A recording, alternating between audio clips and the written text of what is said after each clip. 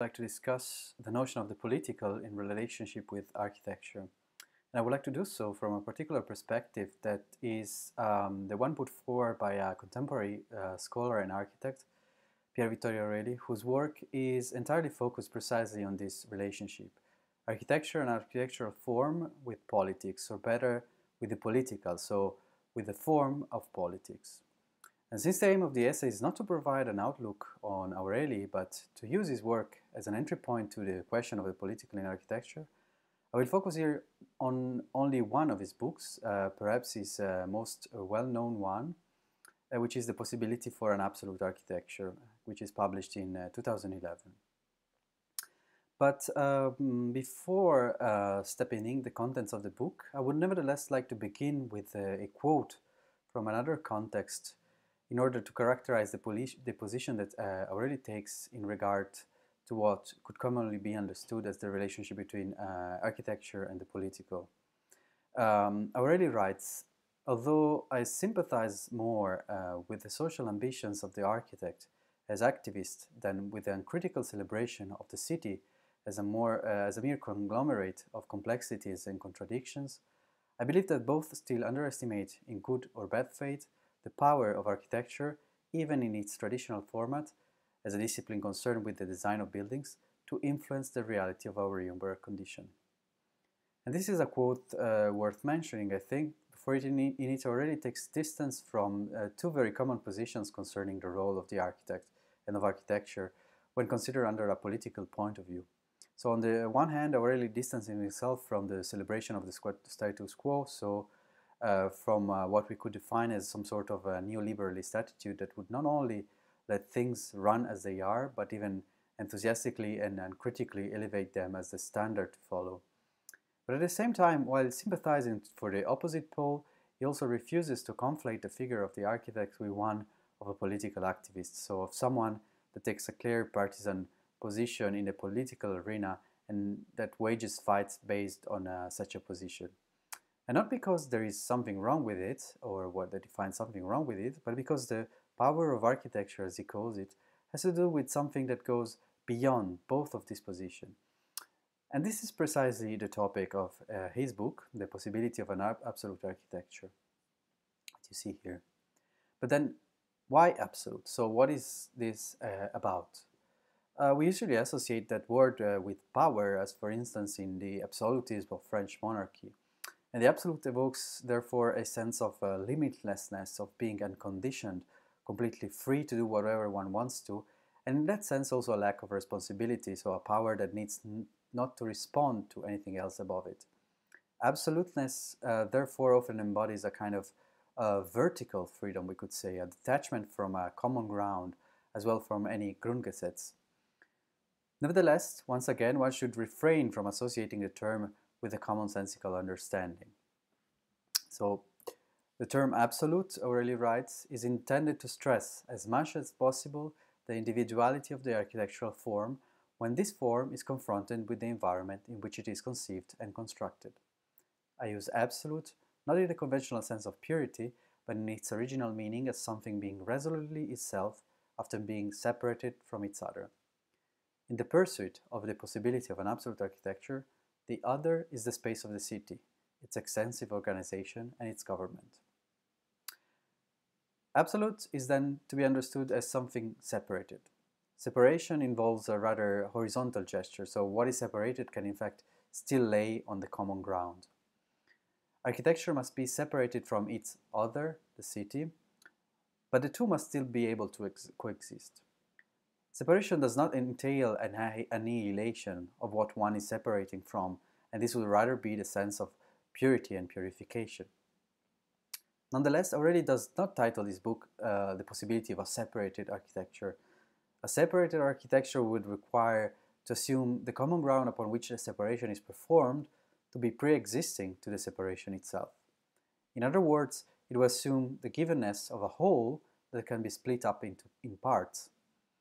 And this is something that uh, Aureli wants not only to avoid, but to counter. Architecture must then be absolute, something that, after being separated, can be still uh, resolutely itself. The architecture that Aureli proposes cannot be subjected to a given whole. It must be detached or uh, absoluta, as the literal meaning of uh, the Latin word term um, points to, from any pre-existing ground. Why? Because precisely by detaching itself from a given ground, architecture is able to constitute a public ground. In other words, it is precisely by separating itself from the space of the city that architecture is able to constitute what Aureli calls an idea of the city.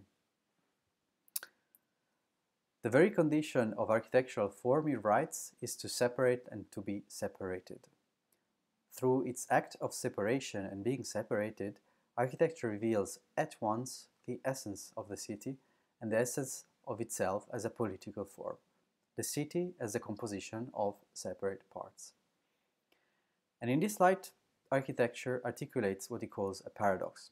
Architectural form, already states, is the act of separation and being separated. It is therefore at the same time agent and matter of separation. It separates as much as it is separated, it enacts as much as it receives it. This paradox is the one that already defines of a unilateral synthesis. So if the city can arise only as the other to architecture and through the separation enacted by architectural form, then the coexistence of the two, what, we, what he calls the unitary interpretation of architecture and the city, can only be synthesized from within architectural form itself. Architectural form constitutes the limit within which the city can be conceived in a similar way to which, for someone like uh, Ludwig Wittgenstein, language constituted the limit of philosophy. But with a major difference is if for Wittgenstein the word was is everything that is the case, and therefore whatever can be formulated, the city is precisely uh, its opposite, what emerges in between the cases, whatever figures out of a definite form. As the other to the absolute architecture, the city can only be brought into presence and so it can be spoken, so to say, and to keep with uh, Wittgenstein's vocabulary, via its negative form, so the one defined by uh, architecture. And why is this uh, important? So why is Aureli not content, not happy with the status quo of the city? And why does architecture needs to be invested with the task of reconstituting it, of giving it a new language, so to speak? So Aureli's point is that the city as such does not uh, properly exist anymore. There is perhaps a language of the city, we could say, but it is not a public one, it is not civic. The speech that governs the space of the city is rather an implicit one. Implicit and non-public, our relationship to such a speech can only be then a subjective one, so like in speech itself acts as an, an imperative language rather than a declarative one. In such a space, so the one left by uh, the one left vacant by the absence of the city as a civic domain, the citizen is then not really a, freely, a free individual, but rather a subject to the invisible and imperative code. This imperative code that already ultimately identifies with the one of capitalism replaces architecture and the city with design and urbanization. Both the idea of architecture and the idea of the city, he writes, as defined through the categories of, of the formal and the political, are mobilized against the ethos of urbanization, the managerial paradigm that, within the rise of capitalism, has characterized our global civilization since the twilight of the so-called Middle Ages. Urbanization is here understood according to Ildefonso Cerdà's initial use of the term as the ever-expanding and all-encompassing apparatus that is at the, basis, at the basis of modern forms of governance. These modern forms of governance consist in the absorption of the political dimensions of coexistence, so the city, within the economic logic of social management, urbanization. So materially internalized and embodied by urbanization and by its managerial paradigm, as he calls it, the logos of the city, the speech of the city, we could say, turns into an ethos, into a custom, a habit, and therefore into something preliminary to the public, conditioning it, but also somehow invisibly present an operative in it. The space of the city taken over by urbanization has to be reclaimed by the city through architecture and through the possibility of an absolute architecture. As separating and separated, architecture is able to frame the ever-expanding and all-encompassing apparatus of urbanization, as Aureli defines it. But before outlining the strategies of such a framing, a picture of urbanization, so to say, must be evoked. In that sense, Ildefons Cerdà plan for the expansion of Barcelona, Ludwig Hilberseimer work uh, on um, the metropolis, um, uh, or the Grossstadt architecture as he calls it, and then uh, also um, Archizoom um, Non-Stop City, uh, and um, Rem Cities of the Captive Globe. So all of these projects are um, what I would like to describe as uh, scenographic dramatizations of the code inherent to uh, urbanization. They're representations and models of that uh, managerial paradigm, so of that ethos able to internalize the logos of the city and to occupy its space. Since there cannot be an exhaustive representation of the city, urbanization cannot be captured, so to say, through just one picture. Each of these examples, each paradigm, models urbanization in a different way and highlights it at different aspects of it. The reduction of the city to an economic paradigm, its non-figurative character, the dissolution of architecture into a Hegelian bad infinity, the exacerbation of differences, these are some of the accents given by Aureli to these paradigms in order to characterize or to stage, so to mettre en scène, the prismatic ethos of urbanization in its complexity. In these dramatizations, architecture plays what I would like to call a scenographic role, since it tries to make visible the different plots, the blueprints in Koolhaas terms, or the iconographies in Vitruvian ones, in which the contemporary metropolis is written, so to say. In doing so, they cast a certain hypothesis or other presupposition concerning the working of the plot, the modus, the underlying modus of its writing. And they do so by acknowledging that architecture is not responsible for the city anymore. In fact, in the age of urbanization, we could say, architecture cannot properly exist anymore, if not as what Koolhaas would have called as a retroactive manifesto. So architecture becomes a sort of uh, Freudian interpretation of uh, the dreams of urbanization or of its nightmares. The task of architecture is then to disentangle them from the unconscious and, as the best therapist, bring them under the light of awareness of self-reflection. The architect can indeed decide how to phrase the plot. In no way, though, can he access uh, the mythical or subconscious level in which the plot itself is waved. Examples such as the one by Hilberseimer, Archizoom, and Koolhaas highlight these very conditions so the these architectural aporia, by putting the architectural project and uh, at the center of their dramatization. And they are, in this perspective, projects on the project itself, so a sort of mise en abîme, or perhaps examples of what uh, Manfredo Tafuri would have called project, a project of crisis. And while the space of the city is taken over by urbanization, architecture and its project are replaced with design. Aureli stresses this difference between architectural project and design, two terms that today seems almost as interchangeable with each other. He writes, This book does not argue for the autonomy of design, but rather for the autonomy of the project, for the possibility of architectural thought to propose an alternative idea of the city rather than simply confirming its existing conditions. The difference between the idea of the project and the idea of design is crucial here. Design reflects the mere managerial praxis of building something, whereas the project indicates the strategy on whose basis something must be produced, must be brought into presence. In the idea of the project, the strategy exceeds the mere act of building and acquires a meaning in itself, an act of decision and of judgment on the reality that designing or building addresses.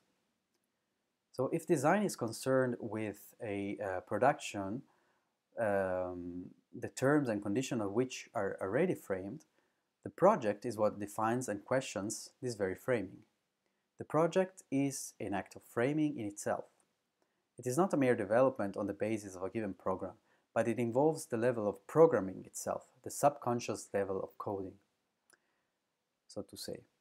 And this level is precisely the one of the possibility of an absolute architecture as described before, so as an act or of decision and judgment on reality. And the project is what grants to architecture that possibility of separating and being separating at the same time. In other words, the project is the instrument able to articulate that paradox of a unilateral synthesis that is so constitutive for the conception of architecture that Aureli is fostering. A central reference for Aureli's claim is the work of uh, Ludwig Mies van der Rohe. In particular, um, Aureli focuses on the recurrent use of a plinth in each of the projects of the German architect. The plinth, Aureli writes, introduces a uh, stoppage into the smoothness of the urban space, thus evoking the possibility of understanding urban space not as an ubiquitous, pervasive, and tyrannical, but as something that can be framed, limited and thus potentially situated as a thing among other things. So the plinth enacts precisely that movement of separation and at the same time of lifting up that is at the core of Aureli's conception of the absolute. By establishing a limit, the plinth is able to frame the all-encompassing space of urbanization from within. By doing so, the formerly invisible code that govern the city, so the ethos of urbanization, is forced to come forward as a thing among other things. In other words, urbanization becomes graspable as an object, reified. The plinth is what allows to give it a face. The task of architecture, he continues, is to reify, that is, to transform into public, generic, and thus graspable common things the political organization of space, of which architectural form is not just the, consequ the consequence, but also one of the most powerful and influential political examples. And the paradigmatic project of this gesture is represented by uh, the Seagram building. Mies here uh, refuses to occupy the entire area of the plot with built volumes and sets back the skyscraper in order to make space for a plaza elevated here on a plinth.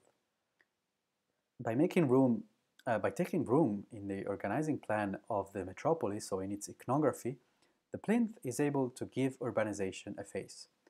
The facade of the building itself, enveloped in curtain walls and I-beams, becomes a manifestation of these forces of production of that same ethos that stood behind urbanization.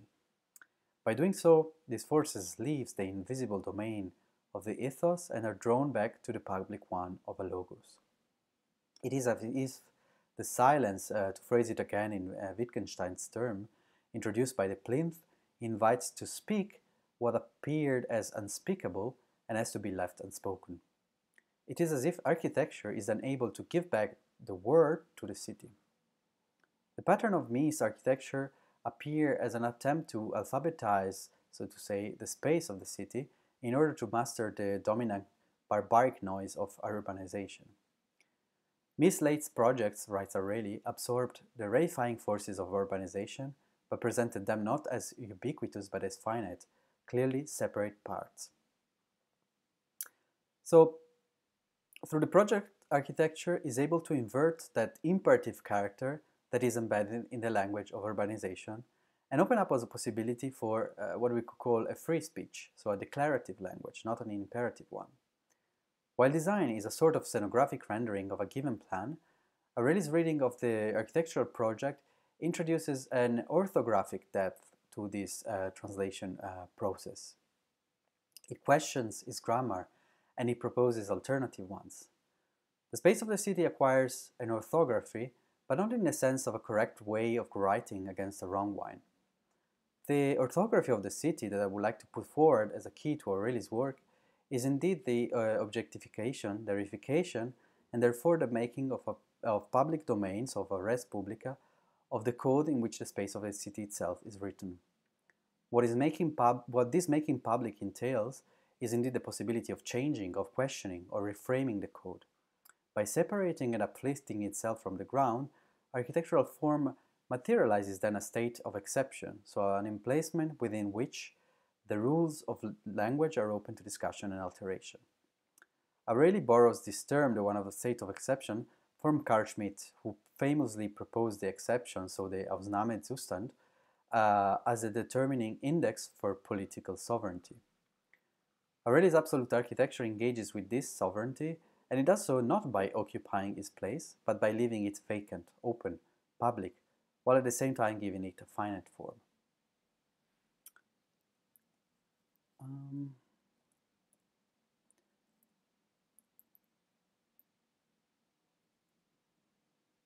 so, yeah.